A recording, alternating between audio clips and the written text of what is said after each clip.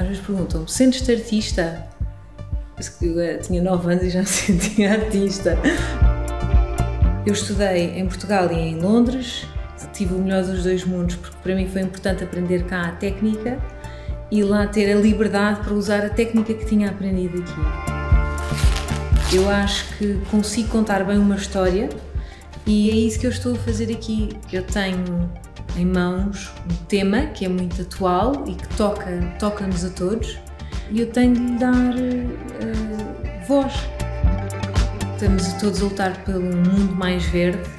Acho que esta geração está muito sensibilizada para este tema e é uma coisa em que eu acredito, é uma luta que eu acredito. E se eu, como artista, puder usar a minha voz também para sensibilizar as pessoas nesse sentido, pá, faço com imenso, imenso gosto.